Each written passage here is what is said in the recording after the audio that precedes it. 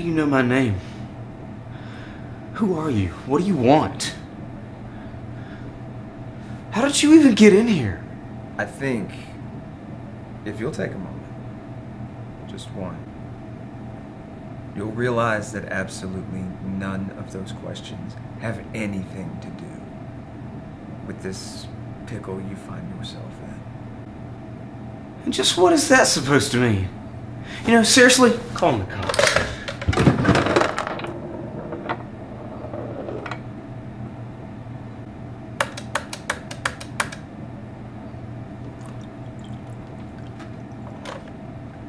Oh, I uh, figured we could skip the whole call the police and you're a dead man scenario.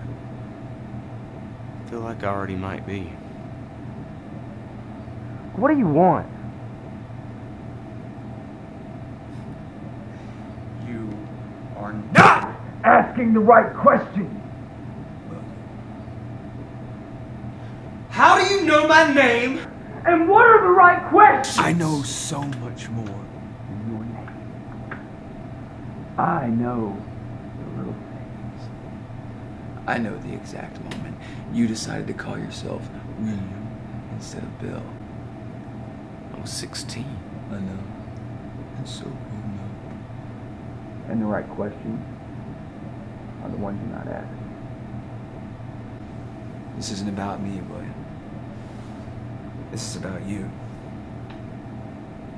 This is about Bill. About me. And, and, and how is that? What are you talking about? This is about you and a boy named Jake. Does that ring a bell? There it is. You remember the incident at the creek. How do you know about that? Oh, William. Everybody knows about that. You didn't know it at the time, but I was there. You brought me there. The same way you brought me here. This. It can't be. It can't be. I'm. I'm dreaming. This. This is just a fucked up Dream. It doesn't make any sense.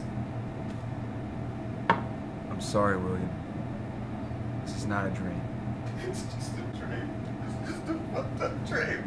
I gotta wake up. Wake up. Wake up. Wake up. I truly am. I'm so sorry. I'm so sorry. I didn't mean it. That's very I'm so sorry. I didn't mean it. I didn't mean it. But I don't make the rules. Who are you? What are you? I I am working. No.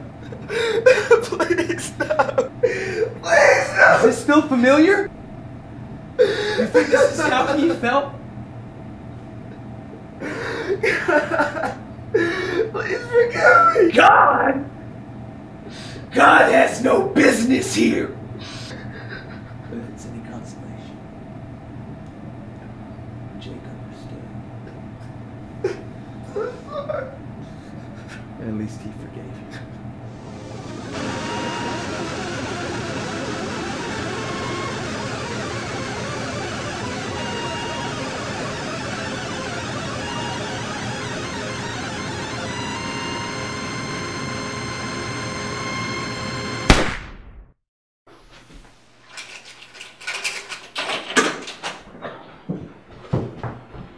You didn't know it at the time, but I was there.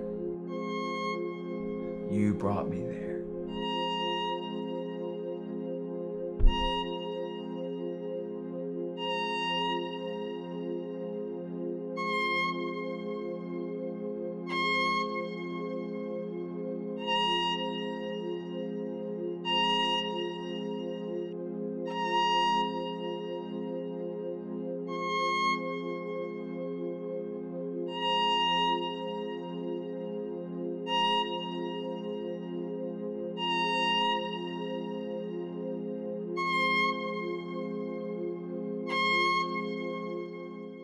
Since the fire, but we're told renovations will soon be underway. A frightening morning for visitors at the downtown historic St. James Hotel as a single gunshot rings out. Investigators say one man is dead by what appears to be a self-inflicted gunshot wound.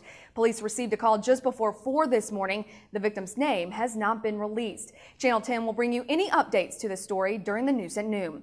Well, the heat wave that's been gripping the southeast is showing no signs of letting up. After the break, we'll give you tips on how to beat the heat and we'll have a look at your seven day forecast. Keep it right here on Channel 10.